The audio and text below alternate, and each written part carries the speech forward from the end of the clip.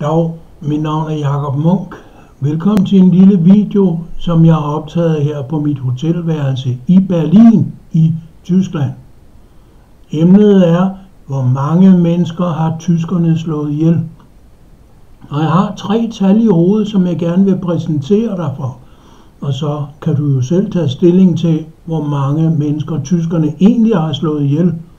Og måske som en konsekvens af de overvejelser også komme med et bud på, hvad skal tyskerne gøre for at rense deres egen skyld, for at retfærdiggøre sig selv rent moralsk, for man kan jo ikke slå mennesker ihjel, uden man påfører sig selv en skyld, som man før eller senere vil blive straffet for i det her liv eller i det, der kommer efter. Ja, hvor mange mennesker har tyskerne slået ihjel? Ja, det officielle tal for 2. verdenskrig er jo, at man slog 6 millioner jøder ihjel. Om det passer eller ej, det skal jeg ikke tage stilling til, men det tror tyskerne selv på. De har mindesmærker overalt. Jødiske museer, holocaustmuseer overalt. Så de er ligefrem stolte af det, har jeg indtryk af.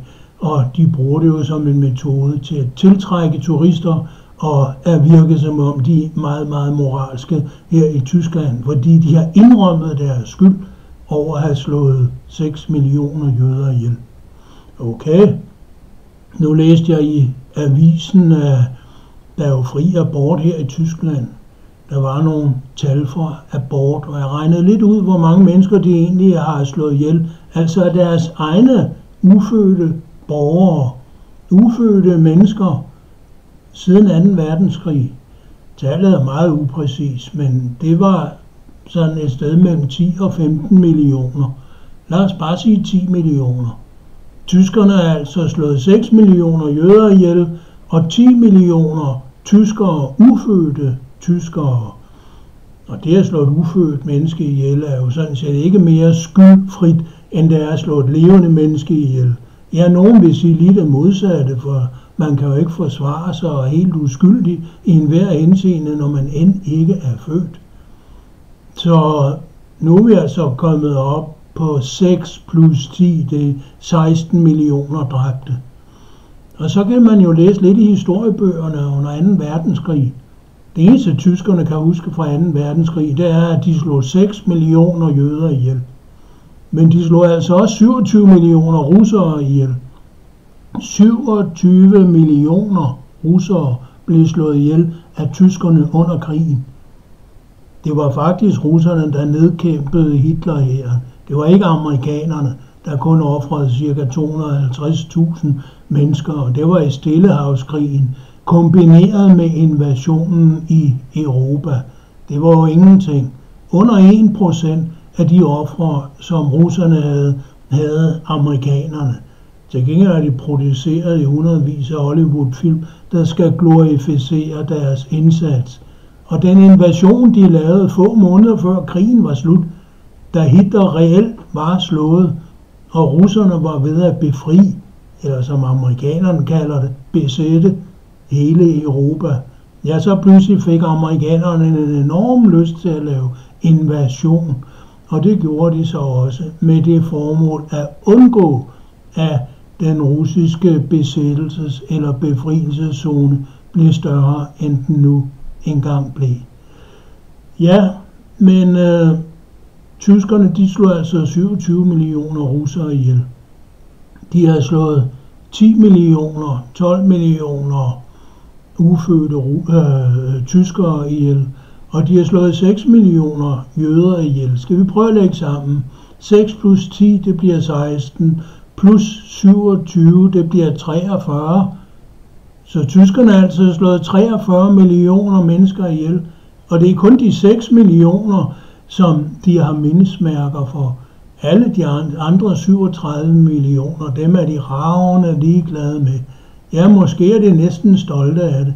Her omkring i Berlin, der kan du finde mange sådan små markører, der viser, hvor latterlige man synes, at det gamle Østberlin var, og det kommunistiske parti og hele regimet i Østtyskland, som jo i nogen grad var en satellit fra det daværende Sovjetunionen. Jo, tyskerne de er utrolig stolte af, at de mener, at det klarede sig meget, meget bedre end kommunisterne i Østtyskland. Ja, okay, men kommunisterne i Østtyskland, de tog i hvert fald afstand fra de myrderier, som tyskerne havde lavet under krigen. Og den største del af de folkemord, som tyskerne er ansvarlige for, var jo det mord, det folkemord, som man lavede på russerne, de 27 millioner russere i 2. verdenskrig. Hvornår vil tyskerne må opføre et mindesmærke til dem? Et mindesmærke, der er bare næsten lige så stort som det kæmpe store dænkmal, det lige har opført med tusinder af gigantiske betonklodser i 4 meters højde og alle mulige andre højder, som man kan gå rundt i inde i Berlin for rigtigt at minde det tyske holocaust på jøderne. Hvad med det tyske holocaust på russerne? Er tyskerne racister i virkeligheden? Er det sådan, så jødiske liv de er mere værd end russiske liv? Jeg er bange for, at den racisme, som Hitler lancerede, og som var grundlaget for hele hans ideologi, den eksisterer stadigvæk i dag. Den eneste forskel er, at man har vendt fortegnet om, så i dag er det jøderne, som er guder, som er helgener, som man tilbeder og beundrer, mens russerne, slaverne, foragter man og nedgør man og skammer sig ikke over at have slået ihjel i massevis.